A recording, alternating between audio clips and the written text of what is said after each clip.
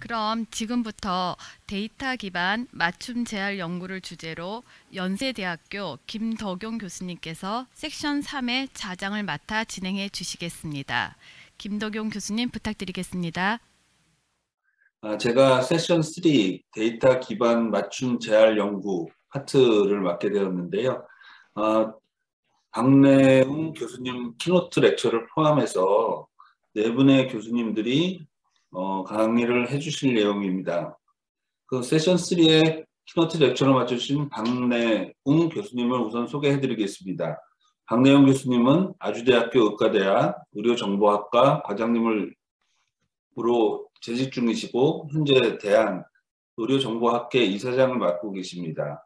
또한 좀 세계 최초로 빅데이터 관련된 프로젝트가 있는데 거기에 아시아 최초로 학술 자문회의로 선출되어 오셔서 어, 여러 연구자들과 활발한 교류를 하고 계십니다. 어, 오늘 박내용 교수님이 발표하실 내용은 바이오 헬스 빅데이터 연구 서비스 구현이라는 제목으로 발표를 해주시겠습니다. 강의 부탁드리겠습니다. 현재는 제가 그 대한의료정보학회 이사장은 아니고요. 전임 이사장입니다. 어, 먼저 오늘 어, 오늘 이 세미나를 이제 초대해 주셔서 감사드리고요. 어, 제가 말씀드릴 거는 바이오스 빅데이터 연구 서비스 구현 이 플랫폼에 대해서 어, 한, 한 20분 정도 간략하게 말씀을 좀 드리려고 합니다. 아, 제가 그 화면 공유를 좀 하겠습니다.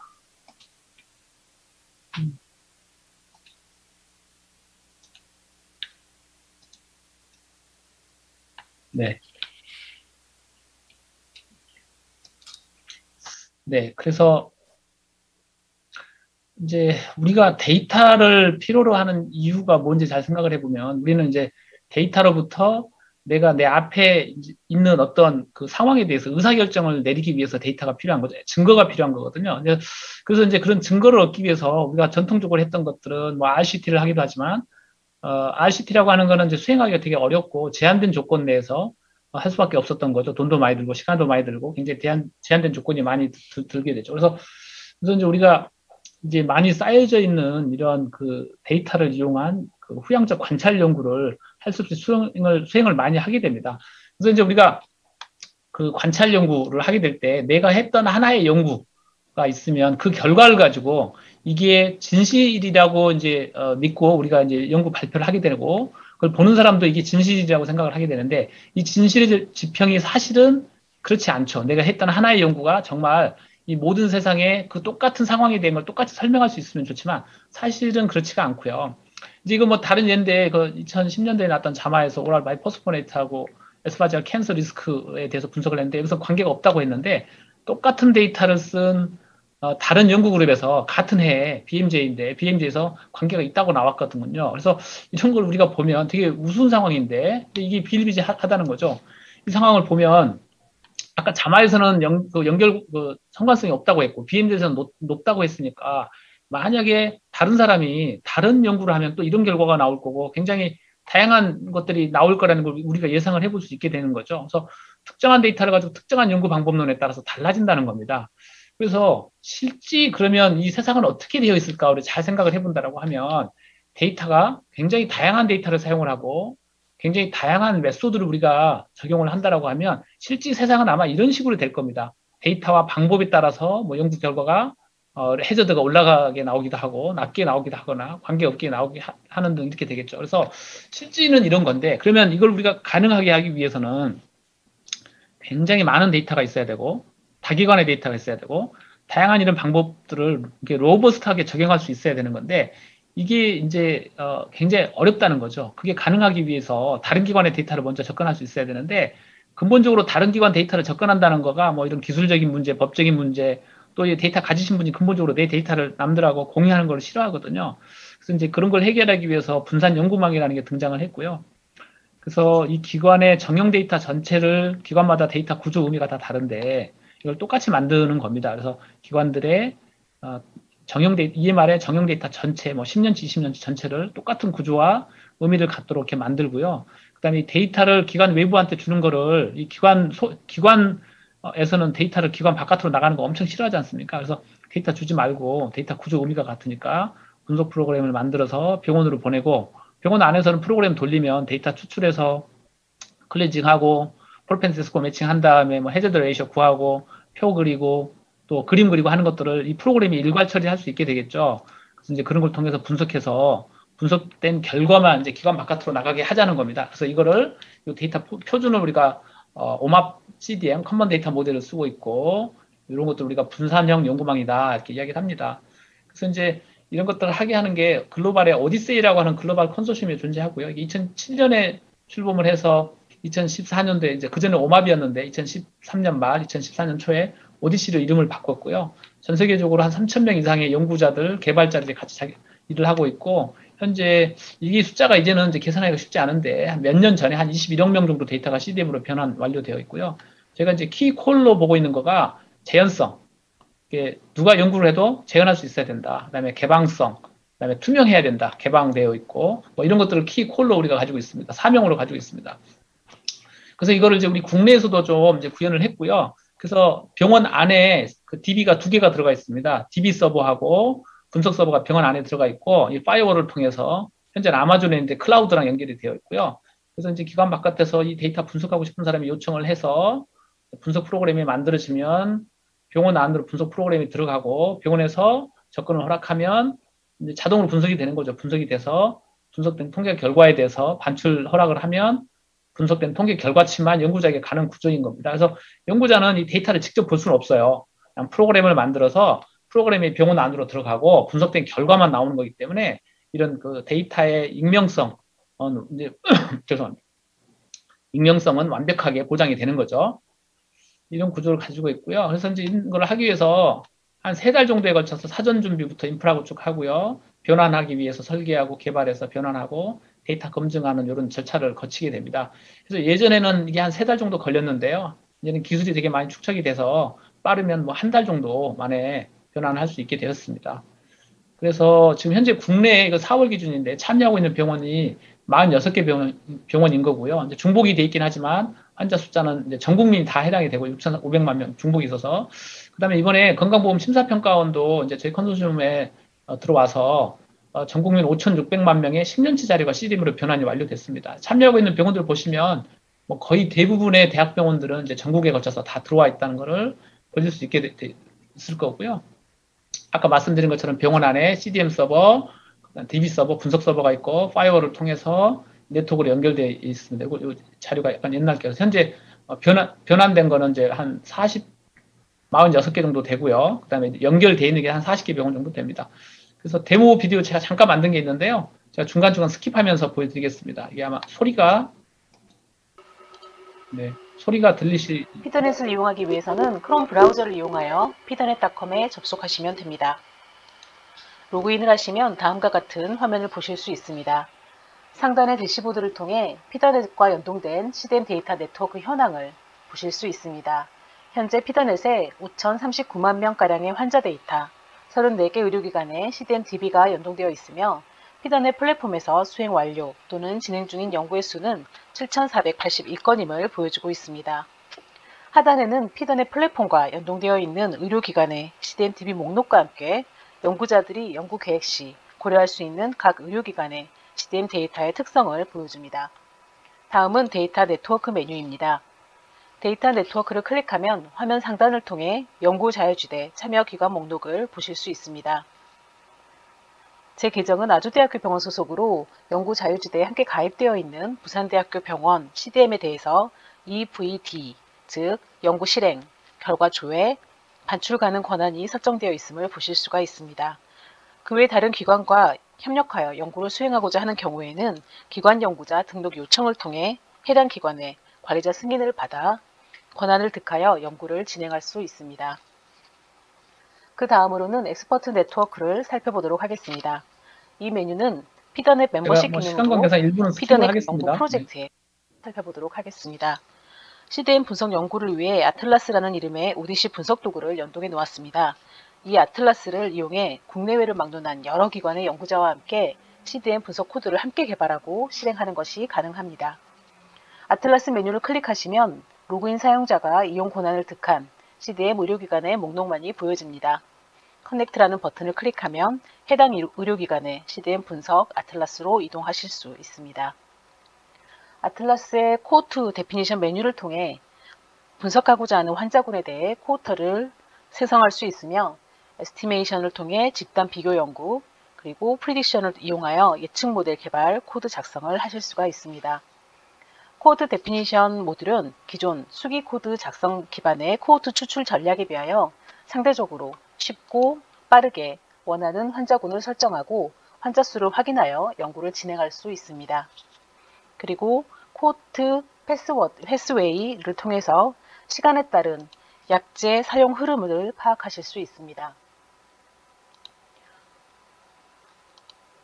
한번 그 일례를 보자면 다음과 같이 어, sunburst plot을 통해서 어, 첫 번째 약제와 두 번째 사용한 약제 이런 패턴들을 분석하실 수가 네, 있습니다. 일부 제가 좀 skip을 하겠습니다. 어, 분석을 outcome 코드성한 분석 코드는 의 경우 분석 코드를 다운받아 별도의 R 환경에서, 환경에서 수행했어야 하지만 FeederNet은 코드에 익숙하지 않은 연구자들도 쉽게 연구를 실행할 수 있도록 프로젝트를 자동화하였습니다. R 분석 결과를 Shiny로 띄워서 다음과 같이 발표드립니다. 분석 결과 표 그리고 그래프를 쉽게 확인하실 수 있습니다.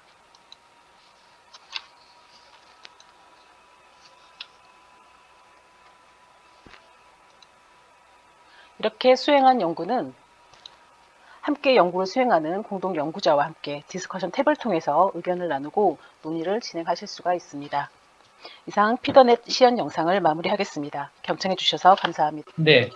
그래서 뭐 짧게 그 인터넷을 이용하기 네, 위해서 짧게 데모 보여드렸고요. 연구 수행 건수가 요즘에 이제 급속도로 늘어서 이런 커브를 보이고 있고요.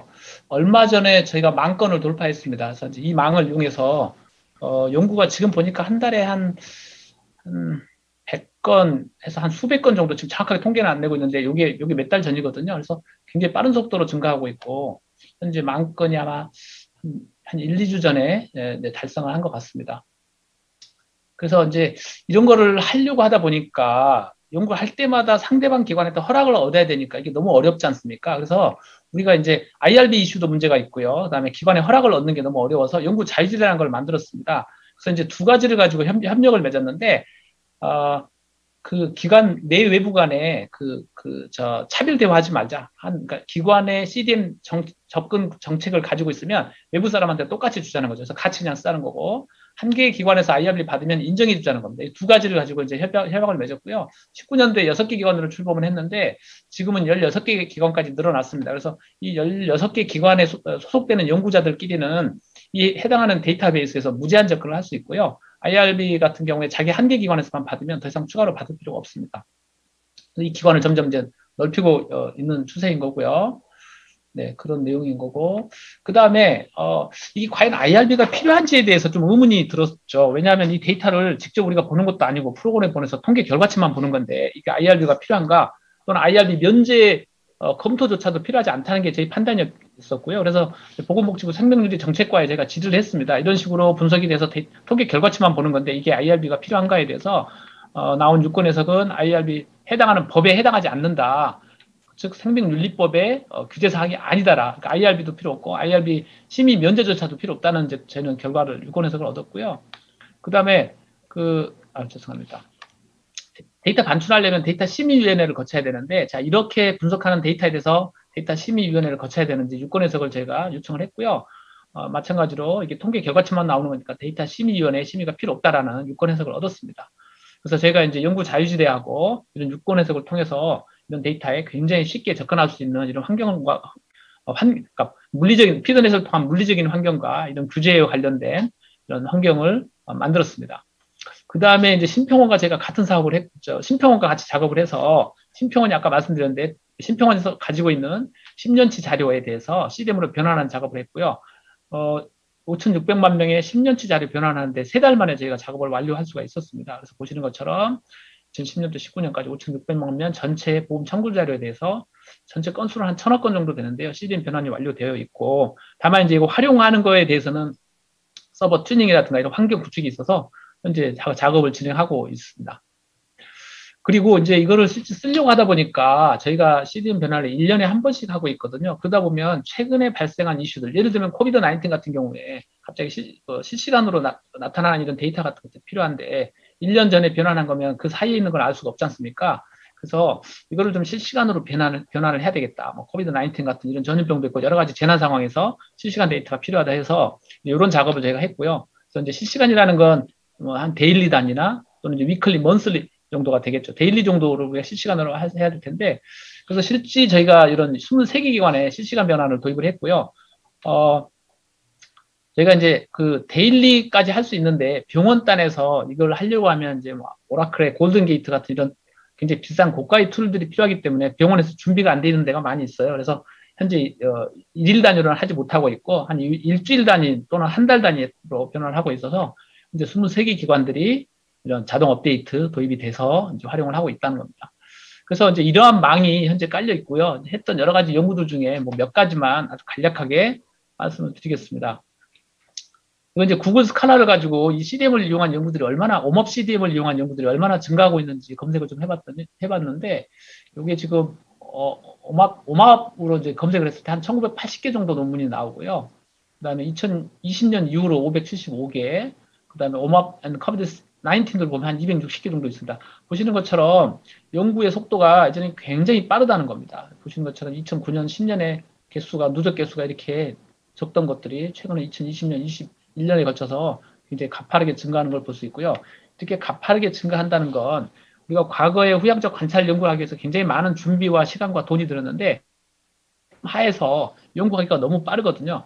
실례로 저희 그 우리 학생 이제 본과 의과대학에 다니는 본과 4학년 학생이 한 달 정도 파견을 그러니까 이제 뭐죠 그 실습을 나왔는데 한 달 만에 굉장히 의미 있는 성과를 이번에 내서 오늘 발표를 좀 했는데요. 그게 아마 제가 생각하기에는 SCI급 paper에 거의 문제 없이 나갈 수 있는 것 같은데 그런 것처럼 우리 예과 학생, 이제 본과 4학년 학생이라고 하는 건 연구 방법론도 잘 모르고 데이터 processing도 모르고 뭐 사실 아무것도 잘 모를 텐데 불과 한 달 만에 배워가면서 해도 굉장히 중요한 어, 연구 주제를 찾아내고 결과까지 낼 수 있을 만큼 이런 어, 생산력이 생산성이 굉장히 robust하다는 걸 알 수가 있는 실례라고 할 수 있겠습니다.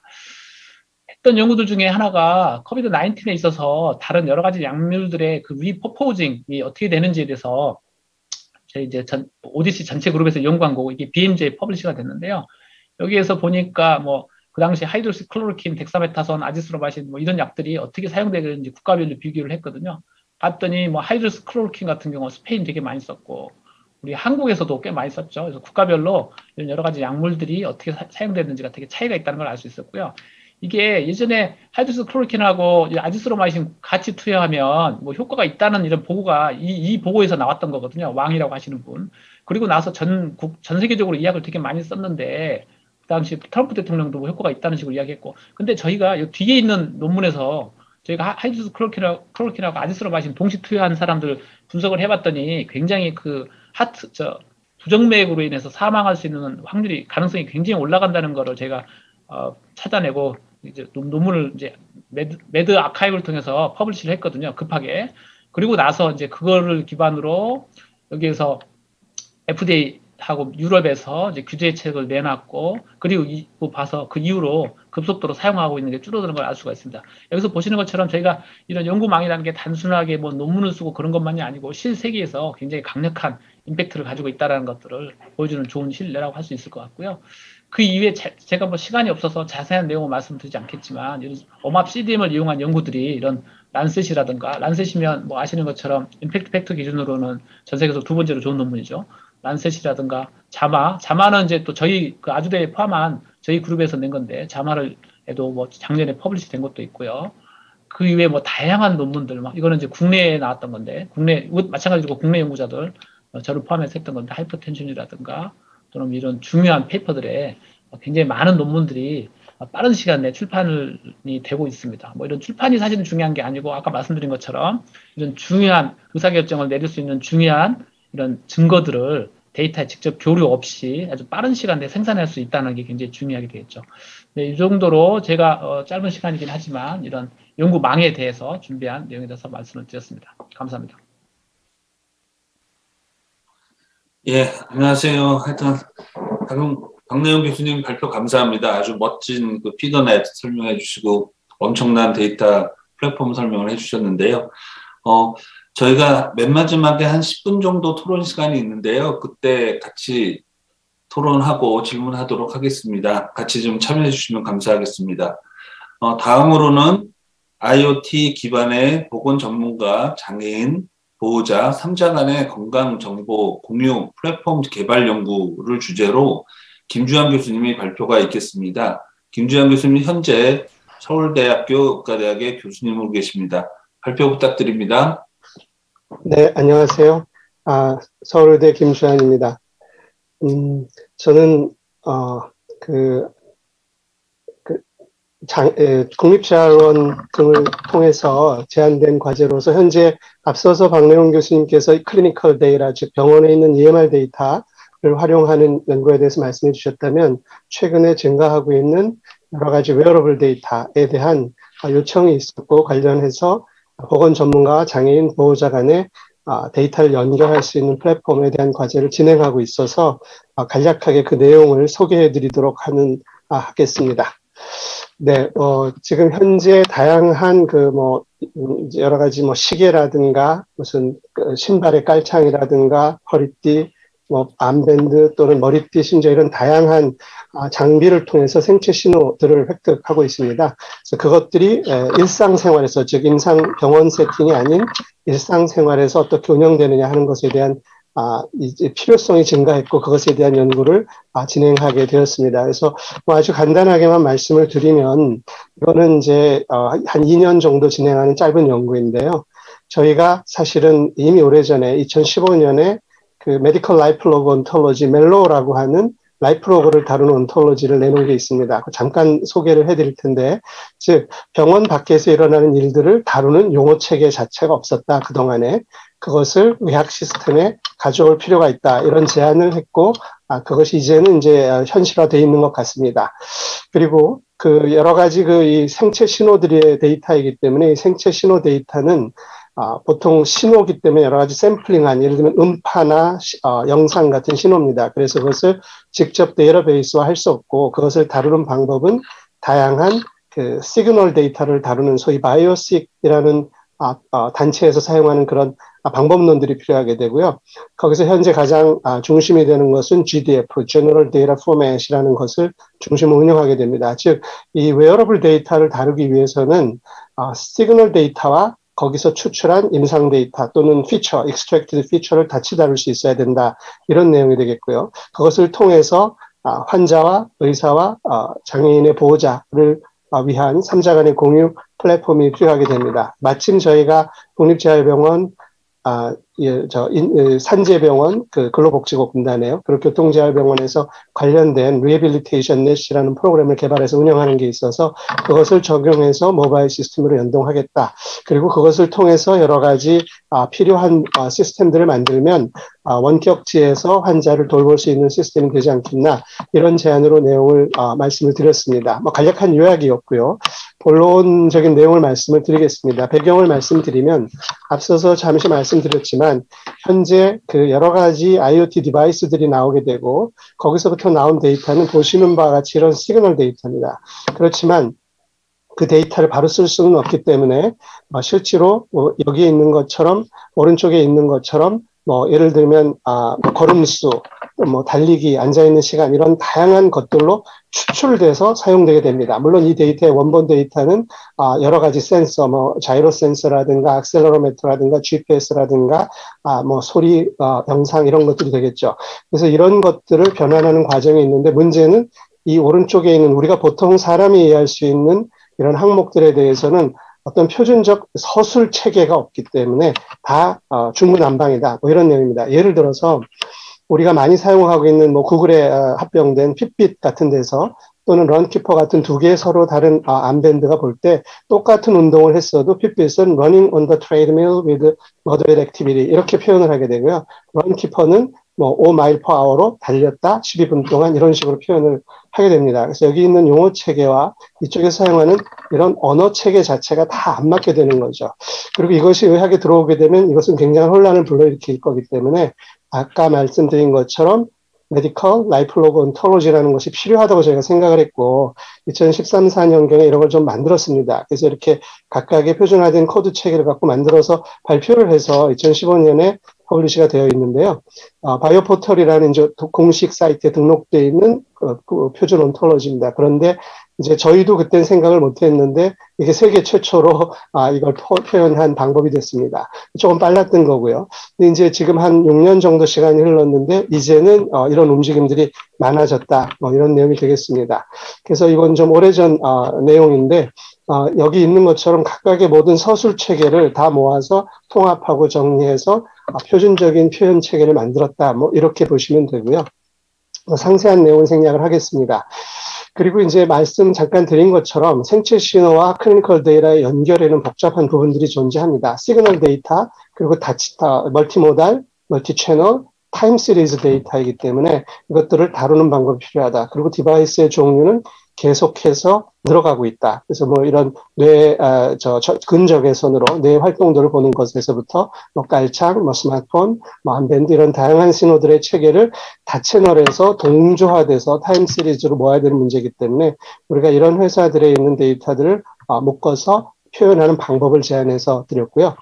아, 그 다음에 그 실제로 저희가 마침 재활 어, 장애인을 대상으로 근로복지공단의 산, 공단의 산재병원에서 의사는 아이패드 앱을 갖고 있고요. 환자의 스마트폰을 갖고 있고 데이터를 주고받는 아, 양방향 통신 프로그램을 만들어서 운영하는 게 있었기 때문에 거기에 앞서 보여드린 것처럼 어, 환자분이 퇴원을 하고요. 특히 장애인에서는 오늘날 그 아, 이제 급성기 재활, 뭐 회복기 재활, 그다음에 이제 결국은 재택, 어, 재가 치료까지 아, 집으로 보내는 것이 가장 중요한 소위 4차 아, 예방이 되기 때문에 그런 쪽으로 보내는 부분이 비어 있고 그때 환자와의 상호작용, 모니터링, 또 원격 코칭 이런 게 필요하다는 내용에 의해서 이렇게 만들어졌습니다. 이 경우 이제 저희가 현재 사용하는 시스템은 어, 병원에서 예를 들면 병원에서 측정한 혈압과 집에서 측정한 혈압이 동시에 의사한테 보여지게 됩니다. 즉 양방향 데이터 교류가 있다는 내용이 되겠죠. 그래서 Rehabilitation Net이 있고요. 그런 배경을 바탕으로 저희가 아, 실제 여기 아, 현실적으로 그러면 장애인 분들이 보호자가 이제 있게 되겠고요. 이 장애인과 보호자 그리고 보건 전문가 사이에 3자 간의 어, 양방향의 또는 뭐 세방향의 데이터 교류 공유 어, 플랫폼이 필요하고 그것을 바탕으로 해서 어, 코칭을 스마트 코칭을 하고 또 더 나아가서 아, 이런 웨어러블 데이터뿐만이 아니라 환자로 환자에게 직접 어, 저희가 설문 처방이라는 표현을 쓰는데 환자분한테 뭐 우울증 설문, 자가 설문 같은 것을 보내면 그쪽에서 답을 함으로써 데이터를 얻고 또 이것이 스케줄러에 등록이 돼서 뭐 6개월에 한 번씩 자동으로 아, 환자분의 데이터를 아, 뭐 지능적으로 얻어주고 그것을 분석하고 시각화하는 그런 모듈들을 연결해서 아, 스마트 코칭을 할 수 있는 아, 방법을 만든다. 뭐 이렇게 아, 되어 있는 간단한 연구입니다. 그래서 아까 말씀드린 ontology, MELLO, 또 PACO라는 게 하나 있고요. physical activity ontology라고 합니다. 그리고 어, 데이터를 다루는 방법, log mining, 그리고 어, 임상 데이터와 연결하기 위해서 어, 소위 메타데이터 기술을 사용하게 됩니다. 그리고 센서에서 얻어진 데이터로 코칭 프로그램들을 만들어서 현재 사용성 평가, 간단한 앱을 만들어서요. 현재 사용성 평가를 시작하고 어, 했습니다. 뭐 이 그림 전체를 요약하면 좀 굉장히 큰 그림이 됩니다.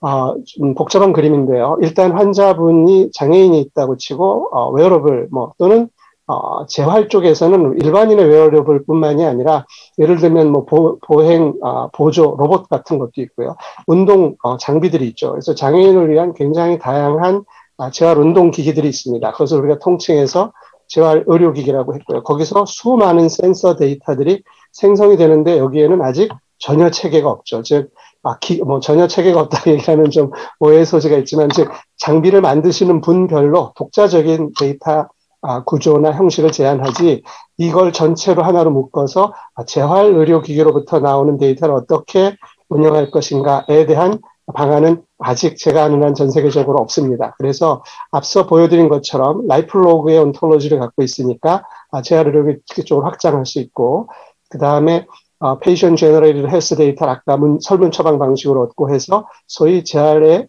운동체육에서 빅데이터를 모으는 아, 구조를 만든다. 그리고 여기에 이제 뭐 동의서나 뭐 이런 역동적 체계 같은 게 좀 필요하게 되고요.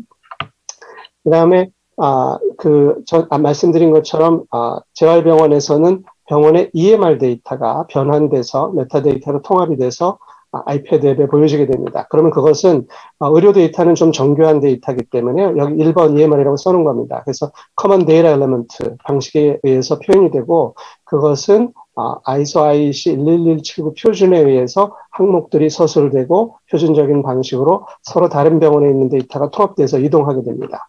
그리고 이제 최근에 그 아, 보건복지부에서 아, 나의 건강 기록이라는 앱을 만들었고요. 어, 뭐 이번 10월에는 좀 더 app to app으로 발전시키게 되어 있는데 이것은 어떤 내용이냐면 공단, 심평원, 아, 그리고 질병관리본부에서 뭐 예, 처방 약물, 아, 의료기관 방문 기록, 예방 접종 기록, 아, 그리고 아, 네 가지인데요. 그런 데이터를 아, 환자의 스마트폰으로 직접 얻을 수 있게 됐습니다. 올해 2월에 시작이 됐고요.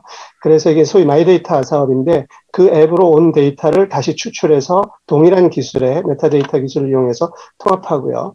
아, 웨어러블 데이터에서 어, 이 설문에 관한 것들은 문, 서에 해당하기 때문에 서식에 해당하기 때문에 데이터, common data element를 뽑게 되고 시그널 데이터들은 모바일 동의서 앱을 통해서 아, 시그널에서 feature extraction을 하게 되고요. lifelog mining을 통해서 feature extraction을 하고 extracted 된 feature에 대해서는 아까 말씀드린 ontology mapping을 해서 밑에 있는 것처럼 아, 표준적인 시스템에 들어가게 되고 시그널 자체는 GDF 포맷으로 간다. 뭐 나아가서 동영상에 관한 방법은 앞으로 어떻게 할까? 왜냐하면 이제 운동 코칭 때문에 그렇습니다. 아, 그런 아, 이제 안까지가 제한되어 있는 그 굉장히 복잡한 데이터를 어떻게 사람 중심으로 모으느냐 이런 내용이 되겠고요. 어, GDF에 익숙하지 않으실 테니까 아주 간략하게만 말씀을 드리면 이 시그널을 모으는 어, 운영, 저장하고 커리하는 어, 표준에는 굉장히 다양한 게 있습니다. 특히 이뭐 고전적으로는 뇌, 뇌파, 심전도, 뭐 EMG, EOG 이런 것들을 대상으로 만들어진 방법이고요. 아 이제 그 2005년, 뭐 15년 통해서 소위 General Data 포맷으로 대체적으로 통합된 면이 있고 그게 이제 좋은 점은 MATLAB이나 뭐 R, 파이썬 같은 아, 이런 그, 어, 그 무료 라이센스를 통해서 응용 프로그램과 연결 가능하다는 겁니다. 그래서 이런 구조를 가지고 있고요. 뭐 상세한 내용은 말씀드릴 수 없겠습니다만, 아, 아 메타데이터에 대한 것은 또, 어, 아, 뭐, 아, 아까 그 ISO IC179 표준을 사용하게 되고요. GDF 포맷에서 얻어지는 데이터들은, 아, 이, 아, 이건 같은 슬라이드인데 제가 그 어, 이제 헤더와 그 항목 데이터들이 있습니다. 그래서 그런 방식으로 우리가 정리를 해서 아까 다양한 시그널들을 저장하고 있고 그다음에 그렇게 해서 얻어진 데이터베이스는 다시 아, 이 라이브러리 GDF라고 하는 아, 그 라이브러리가 있습니다. 그걸 통해서 여러 가지 시그널을 분석하는 맵이라든가 또는 일반 프로그래밍 언어인 C, C++ 또는 알파이썬과 연계돼서 데이터를 시각화한다든가 아, 또는 분석하는 곳에 연결할 수 있는 구조가 됨으로써 이 전체 시스템의 아, 기본적인 플랫폼에 대한 설계를 했고요. 아, 앞서 보여드린 것처럼 아, 임상 데이터를 다, 가져오고 그것을 관리하는 체계들을 아, 지금 아, 뭐 그건 기존의 재활병원에서 만들어져 있는 내용들입니다. 본 연구에 포함되는 것들은 아니지만 예를 들면 재활 의료기관의 경우는 굉장히 다양한 서로 다른 종류의 아, 보통 다른 임상과에서 사용하지 않는 아, 굉장히 다양한 서식들을 사용합니다. 여기 있는 것처럼 아, 여기가 저희가 산재병원에서 운영한 건데요. 아, 이런 그 산재의 기본 정보, 아, 뭐 약물이나 이런 것은 공통적인 거고요. 그리고 이 다면 평가, 뭐 잘 아시겠습니다만 이런 다차원적인 아, 신체 아, 골격에 대한 근골격계에 대한 평가 그리고 아, 그것에 대한 분석 체계들이 아, 운영, 어, 데이터화 되어 있고요. 뭐 사실 의료기관 데이터는 뭐 사실상 EMR에 가까운 수준으로 어, 만들어져서 재활약에 관한 서식들은 저희가 다 아, 그, 아, 표준화를 해두었다. 뭐 이렇게 보시면 되겠습니다. 본 연구의 범위에 있는 건 아니고요. 이런 게 있기 때문에 연동이 가능하다. 또 시그널은 온톨로지와 GDF를 통해서 연결할 수 있다. 이런 말씀을 드리겠습니다. 그래서 이제 아주 간단한 프로토타입을 하나 아, 만들고 제안을 했고요. 현재는 아, 그 앱, 앱, 그냥 환자로부터 실제로 현재 얻을 수 있는 데이터는 제한적입니다. 그래서 환자와의 연결고리에서는, 즉, 플랫폼은 그렇게 만들지만 연결고리에서는 아, 간단한 앱이 하나 만들어지고 환자분이 연결되게 돼서 아, 같이 공동 연구자인 아, 호서대학의 어, 간호대학의 이지, 이지, 이지선 교수께서 그 이 가상 페르소나를 통해서 소위 사용성 평가를 현재 진행 중인 어, 상황입니다. 아, 이런 분야가 아직 비교적 생소하기 때문에 이런 데이터를 가지고 어, 이 분야에 좀 경험이 많으신 분이 앱을 설계하고 디자인하고 아, 어, 만들어서 지금 이러한 여기 있는 내용과 같은 내용들을 아, 테스트에서 사용성 일단 기본적인 사용성을 올해 확보하는 게 되겠습니다. 그러면 이제 그 어, 보건 전문가 코치가 되겠죠. 이분은 아이패드 앱을 사용하는 게 되겠고요.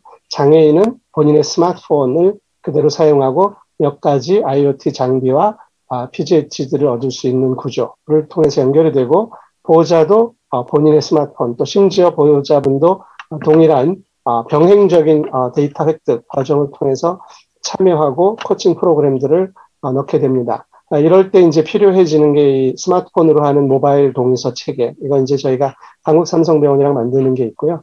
그 다음에 그, 어, 삼, 이 안드로이드 폰의 경우는 삼성의 SLS로 데이터가 오게 되는데, 어, 전자하고 저희가 협약이 돼 있어서 직접 데이터 획득을 하고 그쪽 클라우드를 통해서 옵니다. 애플은 좀 복잡한 부분이 있는데, 어, 현재 아직은 어, 연결에는 굉장히 어려움이 있다. 이게 현재 판단입니다. 그리고 최근에 또 구글도 정책을 바꿔서 이 분야가 굉장히 아, 데이터 획득이 굉장히 어려워지게 됐거든요. 갑자기 이번 7월에 아, 아, 바꿨습니다. 정책을 데이터 액세스를 차단하는 쪽으로. 그래서 이제 그런 빠르게 발전하는 분야라는 걸 느낄 수 있었고, 그러나 이제 저희는 직접 그 뭐 100가지 방법이 있습니다. 구글 핏을 통해서 연결하는 방법 이런 걸 통해서 연결한 것을 만들었습니다. 뭐 과정은 저하고 호서 대학의 일산 교수께서 음, 이제 앱이나 이런 소위 환자 코칭에 대한 것을 많이 해보신 분이시라서 함께 어, 진행을 하고 있고요. 최종적으로 어, 요약해서 말씀을 드리면 결국 어, 저희가 장애인의 경우를 지금 많은 분들이 장애인 분들을 보시면 애플 시계를 애플워치를 많이 쓰십니다. 왜 그러냐면 애플워치는 휠체어 모드를 지원하거든요. 즉 어, 다른 수많은 IoT 장비들, 뭐, Fitbit 이런 데는 건강인을 대상으로 운동 이런 걸 중심으로 하는데, 애플은 장애인을 대상으로 해서 휠체어 모드를 지원하기 때문에 장애인분들께서 선호하는 어, 것이 됐죠. 그 말은 또 뒤집어서 이야기를 하면 장애인에 맞추어진 시스템이 없다라는 뜻이 됩니다. 심지어 저희도 온토로지를 만들고 이번에 조금 반성을 한 게 어, 장애인은 어, 우리가 걷는 거랑 다르잖아요. 우리가 걷고, 그러니까, 그러니까 예를 들면 휠체어에 계시다면 걸음, 걸음수 이런 게 잘 맞지 않거든요. 그러면 이제 휠체어에서 얻어지는 데이터를 다르게 해석해서 다르게 아, 보여줘야 되고 그것에서 뭐 운동량이나 칼로리 소모 같은 것도 다 다르게 계산해야 되고 특히 장애인은 그 종류가 굉장히 다양하지 않습니까? 뭐 손이 불편하신 분, 다리가 불편하신 분 다양한데 그런 분들을 위한 어, 시스템이 없었다라는 걸 이야기 됐고요. 그 다음에 아까 잠깐 말씀드린 것처럼 장애인을 위한 다양한 그 장비들 있지 않습니까? 운동 장애 재활 아, 기기에서 나오는 센서 데이터들도 너무 연구 중심으로 돼 있고 기계를 만드는 관점, 기계를 새로 개발하는 관점에서 주로 어, 정교한 데이터를 얻기 위해서 만들어져 있는데 그 기계를 일상생활에서 쓰면서 얻어지는 데이터 그리고 그게 서로 다른 데이터끼리 어, 통합돼서 상호 해석되는 방법에 대한 것은 현재 체계가 거의 없다. 그러므로 어, 굉장히 할 일이 많겠구나 이런 걸 많이 배웠습니다. 그리고 어, 사실 이번에 모티베이션은 코로나 뭐 이런 것 때문에 또 이런 모바일 원격 시스템의 필요성 때문에 시작을 했는데 이 과정을 통해서 아, 좀 우리가 이런 일을 어, 더 진지하게 할 수 있는 좋은 계기가 됐다고 생각을 하고요. 아래에 있는 그 몇 가지 어, 이런 그 제도의 개편 뭐 그런 것에 의해서 어, 어, 시적절한 방향으로 진행되고 있고 마침 어, 이, 어, 이, 저, 제도가 통과가 돼서 복지부, 아, 어, 문체부, 아, 또 어, 과기부 이렇게 협력할 수 있는 시스템이 만들어져서 개인적으로 기쁘게 생각을 하고 있습니다. 네, 제 발표는 여기까지입니다. 감사합니다. 예. 예, 감사합니다. 김주영 교수님 발표 감사합니다. 하여튼 장애인을 위해서 또 장애인에서 생활하면서 나오는 여러 가지 데이터들을 모으는 역할을 해주셔서 감사드리고요. 어, 이어서 그 송민근 교수님의 발표를 듣도록 하겠습니다. 송민 교수님 발표하실 제목은 장애 아동의 건강과 삶의 증진을 위한 재활 서비스 체계 구축 연구, 뇌병변 및 지체를 중심으로라는 강의를 해주실 건데요. 송민근 교수님이 현재 전남대학교 재활학과 임상 주교수로 계십니다. 발표 부탁드립니다. 시간 꼭 부탁드릴게요. 시간 맞춰주세요. 네. 네, 안녕하십니까. 네, 저 전남대학교 병원 재활학과 송민근입니다. 어, 오늘 제가 이 세션에서 강의를 맡게 된 이유는 아마도 제 그 2019년도 국립재활원 정책연구 일환으로 이 장애아동의 건강과 삶의 질 증진을 위한 재활 서비스 체계 구축 연구를 진행했을 때 어, 국립재활원 장애인 건강 관리 사업 데이터베이스 분석을 함께 진행을 했었습니다. 그래서 그 연구 결과라든지 이런 것들을 좀 같이 소개하고 그걸 바탕으로 해서 어떻게 그 이 서비스 체계를 구축했는지를 좀 안내해달라는 목 적으로 저한테 강의를 의뢰해 주신 것 같아서 어, 그 부분에 대해서 제가 간략하게 말씀드리도록 하겠습니다. 어, 우선 저희 다음과 같은 절차로 예, 강의 진행하도록 하겠습니다. 어, 연구 개요를 아주 간단하게 가져왔습니다. 필요성 자체는 뭐 건강과 삶의 질 증진을 위해 재활의료 서비스 체계가 소아의 맞춤형으로는 부재하고 특히 장애 아동의 발달 단계 의료재활 서비스 요구도가 또 증가하고 있는 게 현실입니다. 또 건강 증진을 위해서 의료재활 서비스 수요 공급이 또 격차가 있다는 부분 그리고 재활 서비스 체계 미흡이 미흡하기 때문에 그것에 대한 개선 방안을 마련하고 또한 이런 장애 아동의 가족들의 요구를 반영한 맞춤형 재활 의료 체계 그리고 건강 관리를 위한 포괄적 서비스 체계를 구축하기 위해 이 연구를 어, 진행하게 되었습니다. 어, 기존 장애 아동 현황에 대해서 고찰을 좀 해보도록 하겠습니다. 어, 장애 하나 현황에 대해서 보건복지부에서 나온 데이터를 토대로 준비를 했었는데 2018년도 현재 장애 인구에서 어, 10에서 19세 가약 한 2.4% 그리고 9세는 약 1.1% 정도를 차지하고 있었고 그 장애 유형별 연령대 비율은 어 다음과 같이 0에서 19세에는 어 지금 대부분 발달이 대부분 발달 지연이 대부분을 차지하고 있었고 지체 뇌병변이 이렇게 발 어 비율을 차지하고 있는 것을 확인할 수 있었습니다. 어, 이걸 토대로 저희가 장애아동 수를 환산해서 다시 계산을 해봤더니 어, 지적장애가 44,258명 정도로 주, 어, 추정이 되었고 지체장애는 어, 4만 아, 4,535명 그리고 뇌병변 장애는 12,381명으로 이렇게 분포를 하고 있었습니다. 어, 그래서 저희가 이제 국립재활원 데이터를 이용해서 데이터를 수집을 하였고, 2019년 장애인 건강관리 사업 데이터베이스를 토대로 어, 데이터를 수집하게 되었습니다.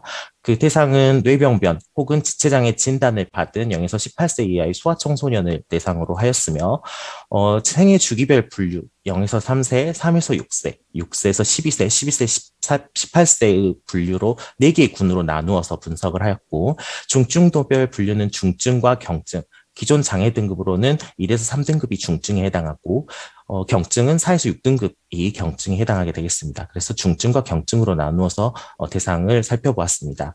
각각의 수집 항목을 좀 살펴보면 장애 환화의 비율이라든지 소득 차에 따른 의료 비용 그리고 진료비, 생애 주기에 따른 의료 비용과 이용과 진료비, 그리고 중증도별 의료 이용과 진료비, 그리고 조사망률에 대해서 수집을 하였습니다. 어, 데이터 분석 결과에 대해 살펴보도록 하겠습니다. 우선 지체장애 환화에서 어, 장애 등급 중 약 5급이 21.5%를 차지하는 걸 확인할 수가 있었고 1급, 3급 순으로 비율이 높았습니다. 남자애는 1급, 여자애에서는 5급의 비율이 높았습니다. 경증 비율은 약 55.2%, 12세 이상 18세 미만의 비율은 65.1%로 높았습니다. 뇌병변 장애 환아에 대해서 살펴보면 1급이 57.9%를 차지하고 있었으며 남녀 모두 1급의 비율이 높았습니다. 중증 비율이 79.9%로 지체에 비해서 중증도가 훨씬 높은 것을 확인할 수 있었습니다. 연령별로 비교했을 때 12세 이상 18세 미만의 비율이 40.7%로 가장 높았습니다. 어, 지체장애와 뇌병변 장애의 중증도에 따라서 어, 분류한 어, 표가 되겠습니다. 여기에서 이제 지체장애는 중증이 1인당 내원 일수는 많았고 1회당 진료비는 낮았고 뇌병변 장애에서는 중증이 1인당 내원 일수 및 1회당 진료비가 높은 것을 확인할 수 있었습니다.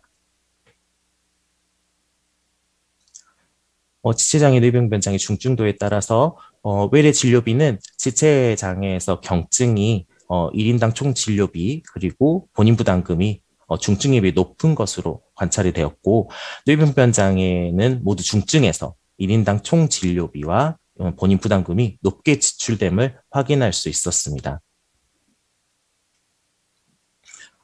어, 다음은 장애 연령에 따른 결과입니다. 네 군으로 나누어서 분석한 결과인데요. 생애 주기에 따른 연령별 분류 후 의료 비용은 어, 우선 지체장애에서는 어, 0에서 3세에서 1인당 대원 일수가 가장 많은 걸 확인할 수 있었지만 어, 1회당 진료비는 12세에서 18세에서 가장 높은 것으로 확인이 되었습니다. 어, 다음으로는 어, 생애 주기에 따른 연령 분류 후에 의료 비용이 어떻게 어, 나왔는지 확인한 그 표에 따르면 0에서 3세 사이에서는 어, 1인당 내원 일수가 가장 높게 나타났는데 어, 12세에서 18세 구간에서는 1회당 진료비가 높게 나오는 것을 확인할 수 있었습니다. 이는 지체 장애와 비슷한 양상으로 관찰되었습니다. 연령별 소득 차이에 따른 의료 비용은 우선 직장, 지역보험을 이용하는 지체 장애에서 0에서 3세 사이 구간이 1인당 내원 일수가 가장 높았지만 1인당 진료비는 12세에서 18세 사이 구간이 가장 높게 나타나는 것을 알 수 있었습니다. 또 연령별 소득 차이에 따른 의료 비용은 의료 급여 지체, 장애 하나에서도 비슷한 양상으로 이렇게 나타났는데 0에서 3세 사이 구간은 없었고 3에서 6세에서는 어, 1인당 내원 일수가 어, 가장 높은 반면 1회당 진료비는 12에서 18세에서 높게 나타나는 것으로 어, 관찰되었습니다. 어, 다음으로는 조사망률에 대해서 살펴보았습니다. 조사망률은 지체 및 뇌병변장애 환자 모두 장애 등급이 높을수록 중증도가 높을수록 그리고 연령이 어릴수록 높은 양상으로 관찰이 되고 있었습니다. 어, 특히 사망 원인은 신경계통 질환으로 가장 높은 빈도를 차지하는 것을 확인할 수 있었습니다. 어, 따라서 이런 결과를 토대로 어떻게 연계를 해야 할 것인지에 대한 어, 고찰을 좀 해보았습니다. 그래서 저희가 장애활동 재활 서비스를 어떻게 어, 전달을 할 것이냐를 좀큰 그림을 그려보았을 때 우선 보건복지부 산하의 국립재활원에서 공공어린이재활의료센터 각각 그 시도 지자체와 연계를 통해 어, 이 공공 어린이 재활의료 센터는 그 지역 내의 공공 어린이 재활 참여 의료 기관들의 이런 서비스를 전달할 수 있게끔 하는 이런 어, 그래, 어, 도표를 어, 구상할 수 있었습니다.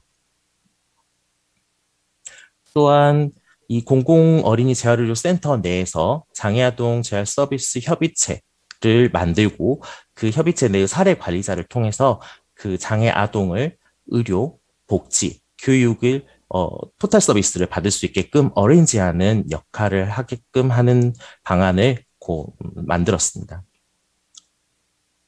또한 이런 협의체를 통해서 지역사회와 어떻게 연계할 것인지를 어, 또 고민을 해보았는데, 어, 지금 공공어린이 재활의료 컨트롤타워 그 중, 중앙장애인 보건의료 센터 그리고 국립재활원에서 는 어린이 재활의 기술을 자문하고 그리고 프로그램을 개발하고 보급하는 역할을 어, 공공 어린이 재활의 센터와 연계하여 진행을 하게 되고 그리고 그 공공 어린이 재활의 센터는 재활 의료 서비스를 제공하고 생애 주기별 서비스를 관리하고 보장구 관련 사업, 사례 관리 사업, 가족 지원 서비스, 교육 연구 기능, 그리고 지역사회 중심 재활 의료 네트워크를 형성하는 그런 역할을 담당하게끔 어, 구성을 해보았습니다. 그래서 이 내에 있는 그 공공어린 재활 의료 센터의 사례 관리자가 협의체를 운영함으로써 지방자치단체 사회복지과와 치도교육청 특수교육 지원센터의 어, 연계를 통해 지역 사회 서비스를 제공할 수 있게끔 계속 어, 연계해주는 역할을 진행.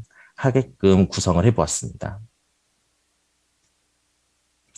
또한 가족들의 부담이 굉장히 높은 것으로 확인할 수가 있기 때문에 어, 이런 부분에 대해서 장애아동 가족 지원 프로그램이 필요하다라는 것도 생각해 볼 수 있었습니다.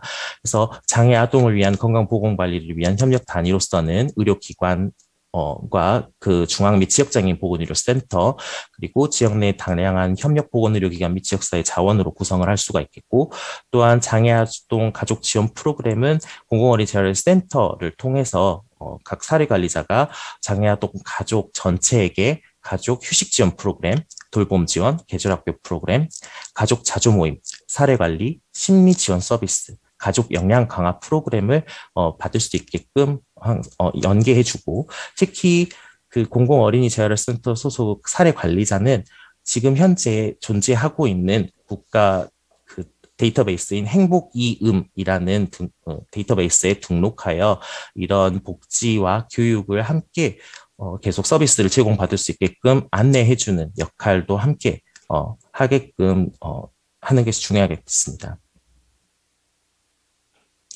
다음은 서비스 항목에 대해서 개발한 내용을 살펴보도록 하겠습니다.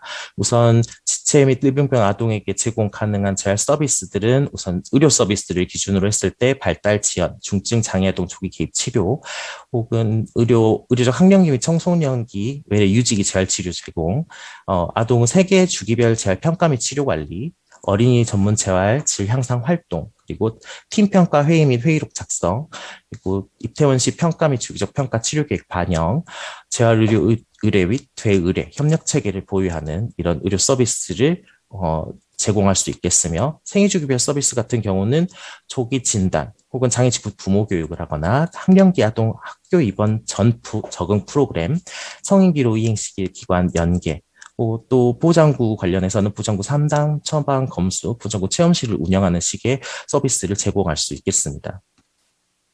사례 관리는 사례 관리자를 통해서 재활 의료 정보를 제공하고 보육, 교육 정보를 제공합니다.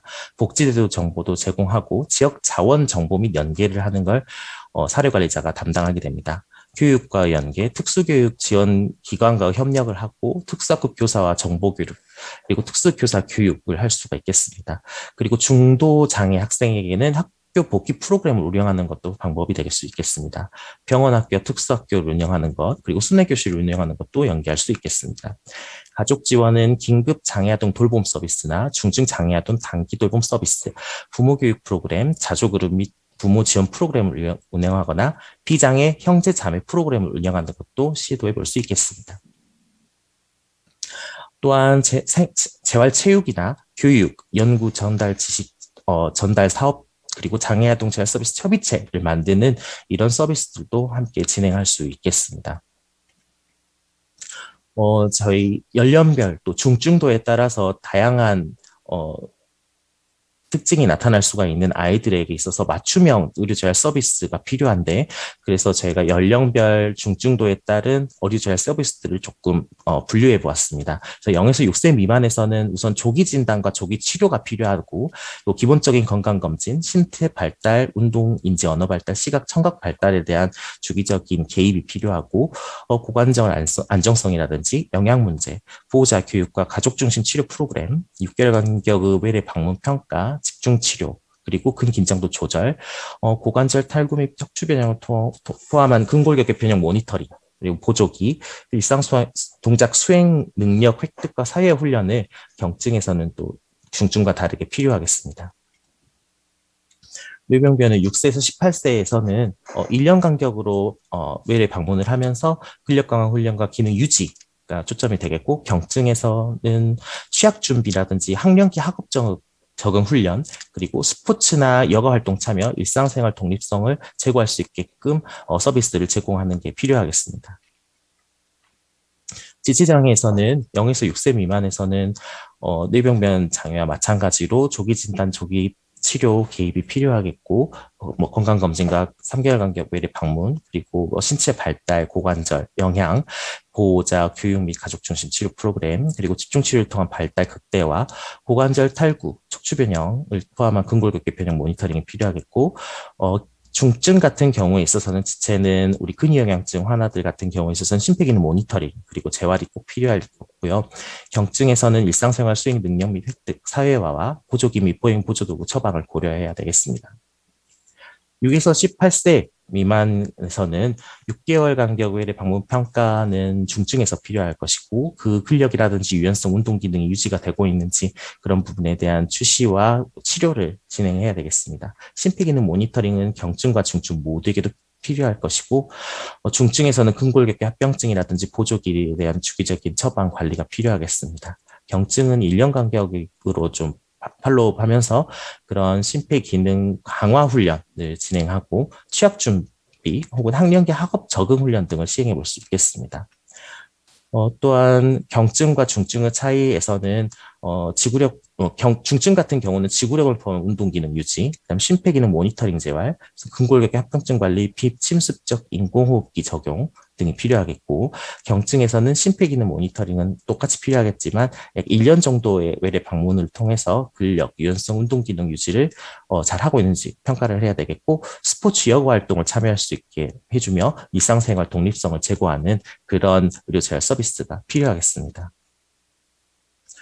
또한 어, 복지 서비스를 살펴보면 어, 0에서 6세에서는 포육시설과 연계 그리고 장애아동 보호자 생활보조 도움을 제공하고 돌봄 서비스를 연계하거나 어, 전문 그 보육시설과 연계는 경증, 중증 모두에게 필요하겠고요. 장애인 복지센터를 통한 장애아동 보호자 생활 보조 도움을 제공하고 유치원 방과 후 장애아동 활동 서비스는 경증 환아에게 좀 도움이 될 수 있겠습니다.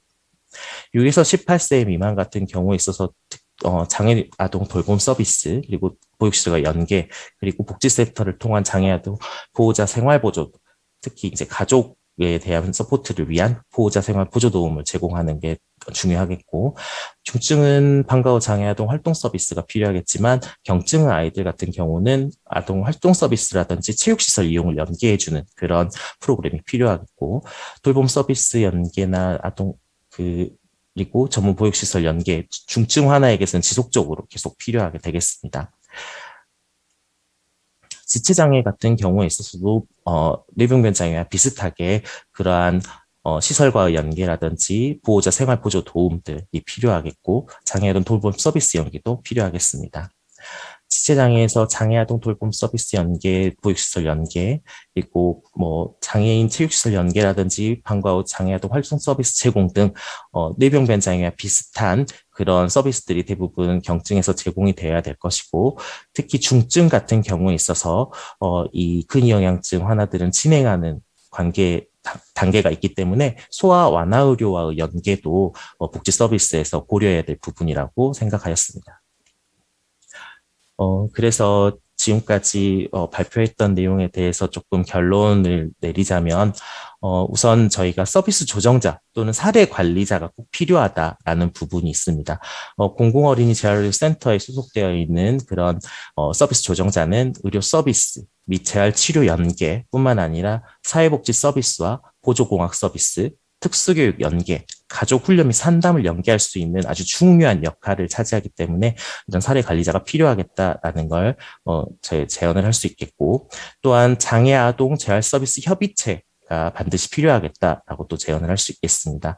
특히 공공어린이 재활의료 센터 내에 사회복지 사례, 사례 관리자로 하여 공공어린이 재활의료 센터 의료진과 어, 외부 지자체 소속의 복지 담당 공무원 그리고 특수교육 담당의 시도교육청 특수교육지원센터 담당 공무원으로 구성할 것을 또 제안할 수 있겠습니다. 또 복지 차원에서 진행되고 있는 현재 발달재활 서비스는 부적절한 치료를 시행받거나 불필요한 치료를 시행받는 등 좀 자원의 비효율적 사용이 야기될 수 있기 때문에 이런 부분에 대한 어, 내용 질에 대한 관리 감독 및 주기적 재평가가 필요할 것이다라고 생각할 수 있겠고 마지막으로 장애 아동의 가족 지원 프로그램 정책 방향을 설정할 필요가 있다. 그래서 가족 지원 서비스 제공할 때 의료적 전문성을 가진 다양한 전문가들이 다학지적 접근의 강점으로 아동의 치료 영역뿐만 아니라 보호자들의 심리, 정서 지원, 경제적 지원에 기여할 수 있을 것이라고 생각합니다. 그리고 부모 교육과 같은 가족 역량 강화 프로그램, 그리고 가족 심리 지원 서비스, 가정 방문 등 사례 관리, 가족 휴직 지원, 돌봄 지원, 가족 자조 모임, 장애 인식 개선 사업, 방학 프로그램 등 이런 어, 서비스를 제공함으로써 이런 것들은 장애아동 재활 서비스 협의처에서 담당하여 어, 잘 적절하게 제공할 수 있게끔 도와주는 것이 필요하겠다라고 이야기 드릴 수 있겠습니다. 이상으로 제 발표를 마치도록 하겠습니다. 경청해 주셔서 감사합니다. 예, 성민기 교수님, 네, 발표 감사합니다.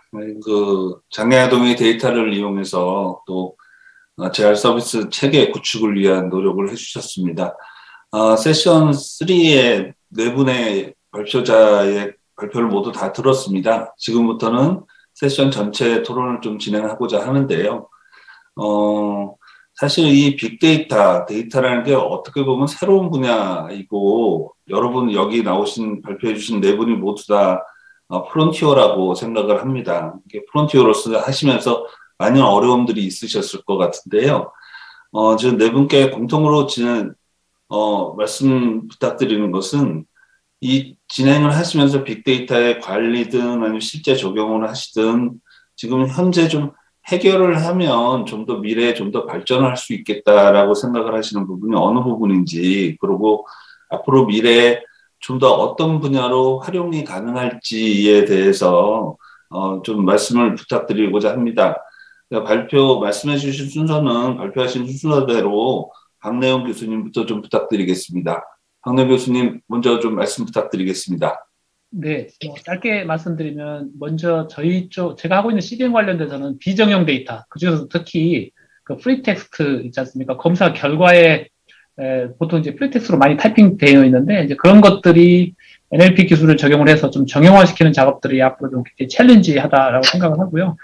그다음에 이제 궁극적으로 현재는 CDM이 병원 데이터가 병원별로 이렇게 분, 분리가 되어 있거든요. 이게 어, 제대로 활용되기 위해서는 데이터 간의 연계가 되어야 됩니다. 그래서 서로 다른 기관 간 데이터가 연계가 될 수 있도록 최근에 어, my health data 같은 사업을 하고 있는데 이제 그런 형태로 해서 사용자의 동의를 얻어서 데이터가 서로 연계되는 형태 또는 심평원이나 보험공단이 가지고 있는 청구 자료와 병원 데이터 간의 연계 이런 것들이 향후에 큰 challenge이며 굉장히 중요한 사업이 되지 않을까 생각을 합니다. 감사합니다.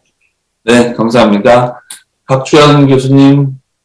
아, 네. 부탁드리겠습니다. 어, 음, 지금 뭐 박래훈 교수께서도 말씀 주셨지만 그 이제 데이터라는 건 존재하긴 하는데 연계하기 어렵다 뭐 이런 문제가 하나 있고요.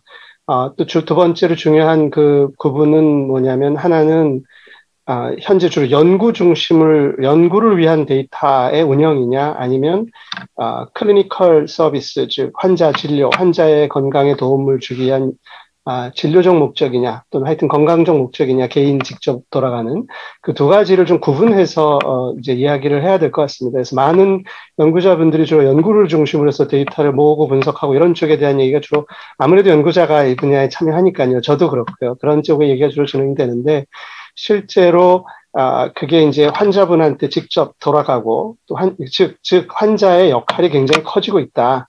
아, 여러 가지 이유에서 옛날에 공급자 중심의 모델에서 이제 소비자가 상당히 중요한 입장을 오고 있으니까 그런 시스템에 대한 방법론과 운영 방안 아, 뭐 그런 것들이 많이 필요하다 이런 생각을 합니다. 그래서 환자분들을 중심으로 데이터를 아, 환자를 위해서 개개인 왜 여기서 달라지는 건 아, 많은 수의 사람, 파퓰레이션이냐 개인이냐 이런 문제거든요.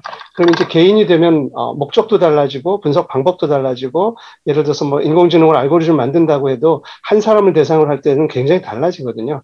그래서 그런 관점을 중심으로 아, 논의가 좀 구분됐으면 좋겠다는 생각 그리고 아, 소비자 중심으로 특히 장애인은 만성 질환이기 때문에 지속적으로 의료 시스템 바깥에서의 활동 시간이 더 많아지기 때문에 그런 것을 아, 운영하기 위해서는 뭐 이제 저희가 그런 좀 시도를 하고 있습니다만 의료 시스템에 있는 데 이터 더 나아가서 일상생활 속에서 있는 데이터가 연계되고 그게 아, 유지가 되려면 아, 환자한테 어떤 이득이 돌아가는 어떤 도움이 되는 것이 있어야 된다 그런 관점에서 저희가 아, 저희는 이제 좀 서비스 모델을 개발하려는 노력을 많이 하고요. 그 다음에 아, 그렇게 되면 이제 환자분들이 의료 데이터를 이해하거나 다루거나 literacy 같은 굉장히 어려운 문제들이 생기게 됩니다. 그동안 의료 시스템이 그런 거 별로 신경 많이 안 써왔던 분야이거든요. 저는 개인적으로 정신과 의사입니다만 전직이요. 그래서 그런 쪽에 앞으로 갈 길이 굉장히 많겠다 이런 생각을 합니다. 특히 노인 고령화가 진행되면 사실 장애인 아닌 사람이 없지 않습니까? 저도 이제 나이 들면서 여기저기 아프기 시작하니까 그런 관점에서 어, 신경을 쓰면 좋을 것 같다는 생각을 합니다. 네, 감사합니다. 어, 김원윤 과장님 뭐 실제로 하시면서 많이 힘드셨을 것 같은데 좀 말씀을 좀 주시죠. 네. 아, 그 제가 저는 척수 손상 환자를 전문으로 진료하는 의사기 때문에 사실은 척수 손상 환자의 데이터를 이용해서 이렇게 연구를 할 때 보면 가장 기본적인 척수 손상 환자가 매년 얼마나 발생을 하고 실제 척수 손상 환자가 국내에 몇 명이 있는지에 대한 사실 정확한 통계조차 없거든요. 뭐 미국 같은 경우에는 매년 traumatic SCI 환자에 대한 그런 통계적인 자료를 내고 뭐 etiology나 뭐 epidemiology를 포함한 모든 그런 자료들이 매년 되는데 저희 우리 나라 같은 경우에는 이제 그런 데이터를 구축하는 기관 자체도 없고 시스템도 없다 보니까 그런 부분들에 대한 아쉬움이 있었고 두 번째는 이제 데이터를 제가 의료 정보에서 이거를 그러니까 뭐 저 이번 한 기록지에서 이런 걸 추출하곤 하는데 이게 데이터가 표준화가 되어 있지 않다 보니까 같은 병원에서 어, 환자의 데이터를 추출함에도 불구하고 이 데이터가 표준화가 안 되어 있어서 이 자료를 이렇게 구독하는데 어려움이 있었던 것 같습니다. 그래서 이런 데이터를 뭔가 표준화하는 작업이 필요할 것으로 생각이 됩니다. 바로 송명윤 교수님 네, 말씀 부탁드리겠습니다. 아, 네. 어, 우선 앞 교수님들께서 말씀해 주신 대로 이런 빅데이터 들이 연계가 잘 되지 않는 부분이 가장 큰 문제인 것 같습니다. 특히 뭐 심평원, 뭐 건강보험공단, 뭐 보건복지부 각각이 가지고 있는 데이터들이 유기적으로 연결이 잘 되지 않아서 서로 뭐 공문을 주고받고 그런 다음에 데이터를 이관하고 이런 과정들이 적어도 1, 2개월의 시간을 소요하는 걸 제가 여러 차례 봐왔기 때문에 그러한 부분들이 좀 유기적으로 연결이 잘 된다면 아마 이런 빅데이터를 이용해서 저희가 뭔가 결론을 잘 내리고 데이터를 추출해서 그런 것들을 정책 방향으로 또 연결할 수 있는 좋은 방법이 될 수 있을 거라고 생각합니다. 그리고 또 제가 발표했던 내용과 좀 연관성이 있는 부분으로서는 좀 제가 드렸던 제언 중에서 현재 지금 공공어린이 재활병원이 전국으로 지금 진행이 되고 있는데 이게 사실 어 그 수가 때문에 잘 진행이 잘 안 되고 그 병원에 받을 받지 않으려고 하는 그런 상황들도 많이 연출이 되고 있는데 이런 것들을 어, 이런 데이터, 빅데이터 결과들을 토대로 해서 어떤 지원을 해줘야 될지에 대한 정책과 잘 연결이 돼서 이런 공공어린 재활병원이 잘 성공적으로 잘 진행될 수 있었으면 좋겠습니다.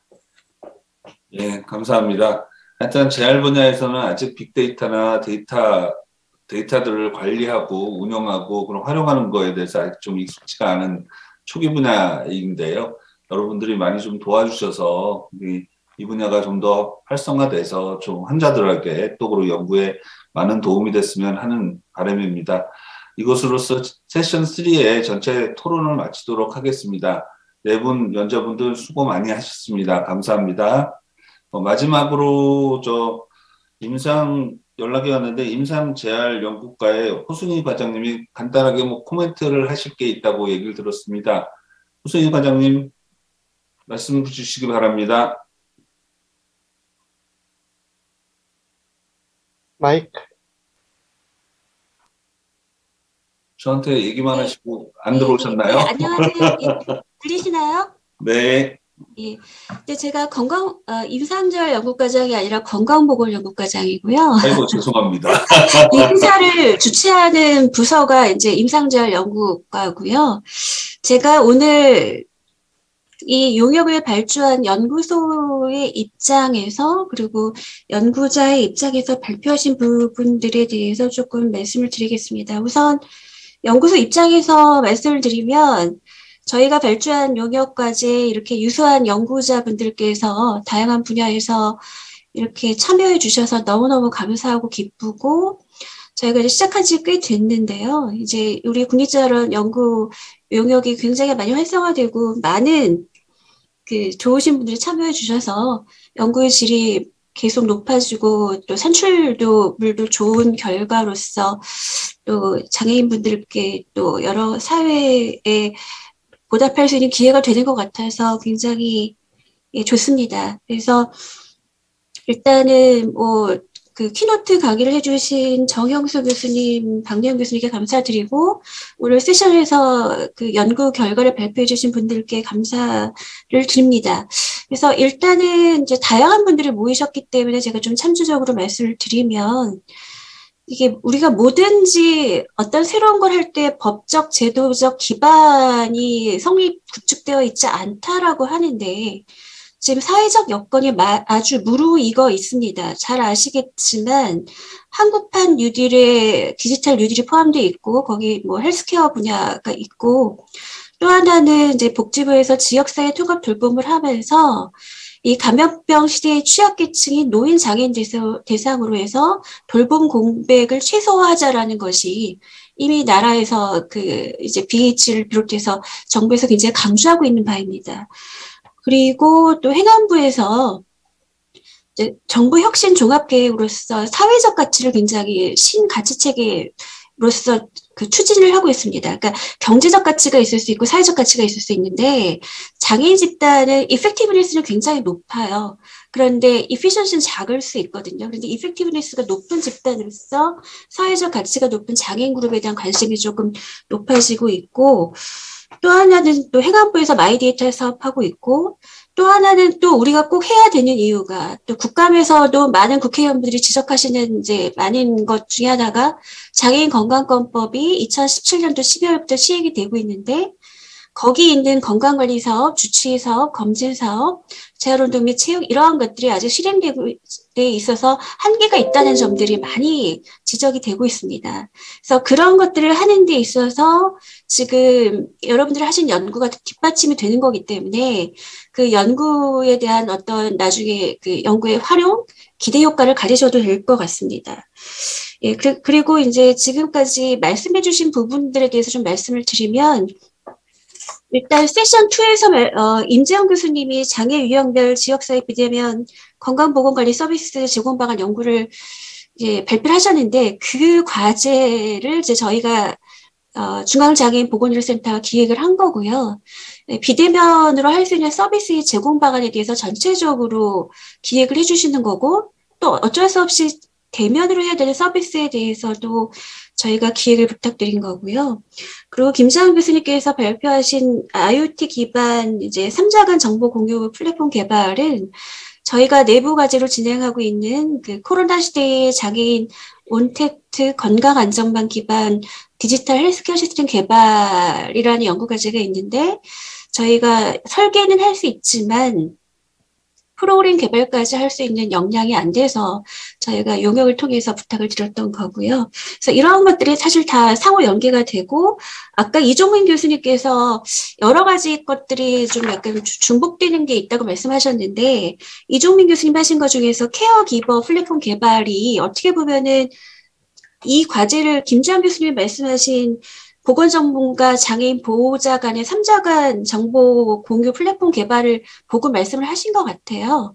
그러니까 김주환 교수님 하시는 게 환자에 대한 건강 정보를 보건 전문가하고 장애인하고 케어 기버하고 공유하는 시스템인데 이주문 교수님께서 하시는 거는 케어 기버를 위한 교육 프로그램이고 플랫폼 개발이었거든요. 근데 이러한 것들을 저희가 다 내부적으로 기획을 했으나 이 연구를 하시는 분들께 다 공유가 안 된 부분들이 있어서 그건 조금 아쉽다는 말씀을 드리고요. 그 다음에 아까 그 우리 김원유 과장님이 내부적으로 말씀해 주셨는데 아까 이제 그 검사 및 진단을 위한 가이드라인 개발인데 잘 알고 계시지만 겠지만 기표원에서 참조 표준을 개발을 하고 있습니다. 그래서 international standard가 있는데 뭐 혈압이라든가 뭐 고지혈증이라든가 뭐 total 콜레스테롤 이러한 거에 대한 정상치, 임계치 이런 것들이 전 세적인 표준, 세계적인 표준이 있지만 BMI도 그렇고 우리나라의 표준을 따로 가지려고 하고 있어서 기표원에서 이제 건보공단 데이터 갖고 창조 표준을 만들고 있거든요. 근데 저희가 또 연구소에서 건보공단에서 장애 빅데이터를 구축하고 있기 때문에 이 혈압이라든가 BMI라든가 이런 것들이 이 기준이 비장애인과 장애인은 틀릴 수 있기 때문에 저희가 그런 것들을 위한 연구도 좀 시도를 했었고 앞으로 이루어질 져야 될 것으로 보고요. 그 다음에 아까 송민경 교수님께서 아까 이제 이 데이터가 국립재활원 장애인 건강관리사업 데이터베이스라고 말씀을 하셨는데 맞긴 맞고요. 공식적으로는 저희가 분석해서 데이터를 드리긴 했는데 이 데이터는 건보 데이터입니다. 그래서 건보의 의료이용 데이터입니다. 그래서 건보 데이터를 보면 전 국민 중에서 비장애인도 한 90, 한 5% 정도 의료 이용을 하고 장애인도 94% 95% 의료 이용을 하거든요. 그래서 저희가 건강보험공단에 장애인 전수에 대한 의료 그 data warehouse를 구축을 해서 장애인 전수에 대해서 데이터를 분석을 하고 있고 건강 통계를 산출하고 있고 그 중에서 이제 장애 아동에 대해서 저희가 data mart를 구축해서 좀 을 해드린 거라서 이제 출처는 저희 연구 보고서가 맞지만 어, 소스 데이터 자체는 건보 데이터라고 좀 말씀을 해주시면 될 것 같고요. 그 다음에 그 저희가 이제 데이터 얘기가 자꾸 나오는데 이런 데이터가 아까 말씀하신 저희가 장애인 건강권법에 보면 장애인 건강 사업도 있고 통계 사업, 정보 사업, 연구 사업이 있습니다. 그래서 지금 우리가 데이터 보안이라든가 제, 개인 정보에 대해서 어려움이 있을 수 있는데 그런 부분에 대한 법적 제한을 좀 풀어놨습니다. 그래서 장애인 건강권법이 근거가 될 수 있을 것 같고요. 그 다음에 아까 김주환 교수님 말씀하셨듯이 분석 단위가 집단이냐 개인이냐에 따라서 틀려지는데 저희가 건보 데이터로 건강보건 통계 연보를 내는 거는 분석 단위가 집단이고 근데 그거의 한계점은 뭐냐면은 지금 그게 후향적 데이터거든요. 그런데 앞으로 우리가 구축해야 대한, 돼야 될 내용은 아까 김장 교수님도 말씀하셨지만 전향적 데이터베이스에 대한 타겟 데이터와 소스 데이터에 대한 모델링이 전혀 안 돼 있습니다. 그러니까 사실은 지금 건보공단에 청구할 때 데이터만 있는 거지 prospective하게 장애인 건강 관리를 하면서 거기서 발생되는 데이터, 재활 운동비를 하면서 발생돼야 되는 데이터가 소스 데이터와 타겟 데이터에 대한 모델링이 안 돼 있기 때문에 그런 부분부터 우리가 모델링을 해야 되는 그런 것들이 있고 또 개인에 대해서 지속적으로 팔로우하기 위한 개인 차원의 데이터에 대한 분석, 그다음에 어떤 집단 단위에 대한 데이터의 분석 이러한 것들이 집단 단위, 개인 단위로 좀 이루어져야 되고요. 그리고 아까 또 이제 그런 부분에 대해서 조금 같이 생각을 해주셨으면 좋겠고 아까 또 김우유 과장님께서 척수손상 통계가 없다고 말씀하셨는데 이거는 근본적인 문제는 장애 유형 분류에서 척수손상이 지체장애를 묶여 있고 척수 그 지체장애가 기능, 뭐 절단 이런 식으로 나눠져 있기 때문에 근데 척수에 대한 분류가 없기 때문에 발생되는 근본적인 문제이기 때문에 장애 유형 분류에 대한 문제가 기반한다고 조금 이해해 주셨으면 좋겠고요. 마지막으로 어, 우리가 지금 데이터 얘기를 많이 하고 있는데요. 저는 복지부에도 지난주에도 말씀을 드렸는데 우리가 모든 걸 하는 데 있어서 데이터가 굉장히 필요한데 프로스펙티브하게 데이터를 모으는 게 중요하고요. 그런데 우리 장애인 건강관법에 장애인 검진 사업이 있고 그 검진 사업의 데이터가 장애인 건강관리 사업이라든가 주치의 사업이라든가 재활운동과 체육에 연계가 돼야 된다고 생각합니다.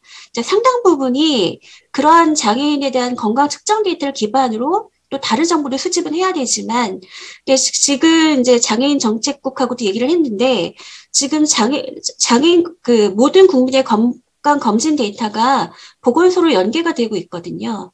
그런데 이 장애에 대한 데이터가 주치의라든가 건강관리 사업을 하는 뭐 보건소라든가 지역장애 보건센터 뭐 이런 데로 재활운동 및 체육을 시행하는 장소로 연계가 된다 그러면 기본적인 데이터에 대한 그 loss 없이 그대로 데이터를 유지 관리할 수 있고 플러스 추가적인 데이터를 life log 데이터를 또 모을 수 있기 때문에 그런 부분들을 좀 복잡이랑 얘기를 하려고 합니다. 그래서 그런 부분들에 대한 것들이 앞으로 조금 많이 해소가 될 것 같습니다. 그래서 제가 두 가지 입장에서 말씀드렸습니다. 너무 감사드리고 또 연구에 대해서는 저희가 어 저기 연구소에 또 연구 과제 관리 담당자가 있는데 좀 자주 소통을 하면서 필요한 부분을 저희가 지원을 해드리고 또 필요한 정보를 드리도록 노력하겠습니다. 감사합니다.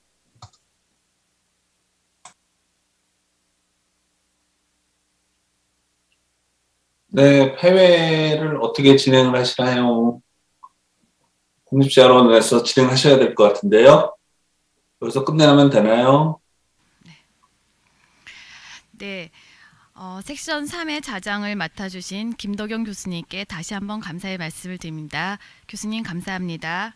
이것으로 섹션 3의 발표를 모두 마치겠습니다. 그리고 오늘 수화 통역을 맡아주신 박미희 통역사, 이현정 통역사 두 분에게도 감사드립니다.